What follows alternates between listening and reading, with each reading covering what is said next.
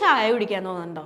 നിനക്ക് പുറത്ത് പോകാൻ തോന്നുന്നുണ്ടോ? നിനക്ക് എന്നെ കാണാൻ തോന്നുന്നുണ്ടോ? എന്നൊക്കെ തോന്നുന്നുണ്ടോ എന്ന് നമ്മൾ ഒരാളോട് ചോദിക്കുമല്ലോ.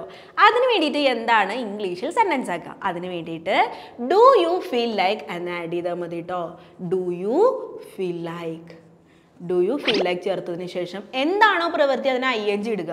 സോ നിനക്ക് ചായ കുടിക്കാൻ തോന്നുന്നുണ്ടോ? കുടിക്കുക എന്നിന്റെ ഇംഗ്ലീഷ് എന്താ? ഹാവ് എന്നാണ്. അതിന് ഐ എൻ ജി ഇടുക. Having so do you feel like having tea നിനക്ക് ചായ കുടിക്കാൻ തോന്നുന്നുണ്ടോ? നിനക്ക് അവനെ കാണാൻ തോന്നുന്നുണ്ടോ? ഡു യു ഫീൽ ലൈക്ക് ആദ്യം ചേർത്തതിന് ശേഷം? ഡു യു ഫീൽ ലൈക്ക് കാണുക എന്നതിന്റെ ഇംഗ്ലീഷ് സി എന്നാണ്. അതിന് ഐ എൻ ജി ഇടുക സീയിങ് അവനെ എന്നതിന് ഹിം എന്നാണ്. So do you feel like seeing him നിനക്ക് പുറത്തു പോകാൻ തോന്നുന്നുണ്ടോ? ആദ്യം തന്നെ ഡു യു ഫീൽ ലൈക്ക് ചേർക്കുക.